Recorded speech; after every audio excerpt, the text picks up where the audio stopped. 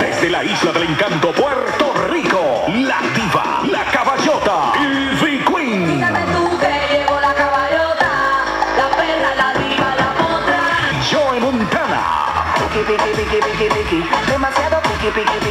Sicamexa Producciones brindó una conferencia de prensa donde dio a conocer cuáles serán los próximos conciertos a los que los nicaragüenses podrán asistir. Así que estamos contentísimos, orgullosos de recibir a la diva, eh, la caballota, Ivy Queen.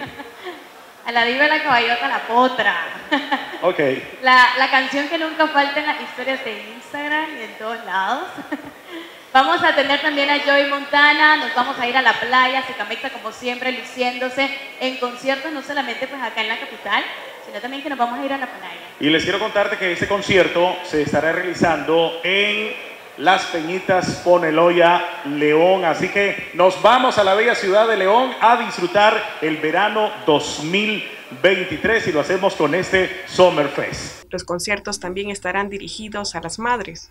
Eh, en unión con Cicamexa se decidió que Hard Rock va a ser la casa oficial y vamos a tener estas dos fechas, el 26 y el 30 de mayo. Eh, es un concierto íntimo acá, va a ser una capacidad limitada, las entradas van a estar disponibles prácticamente ya y eh, van a poder hacer la compra eh, directamente con nosotros o todo ticket. Y realmente es un show muy, muy bonito. El 26 de mayo, viernes, el 30 de mayo, eh, Día de las Madres. Creo que es un regalo espectacular para las mamás y sobre todo que van a poder tener un espacio muy cómodo para poder disfrutar de esta música tan romántica y de los tiempos que todavía sigue estando vivo.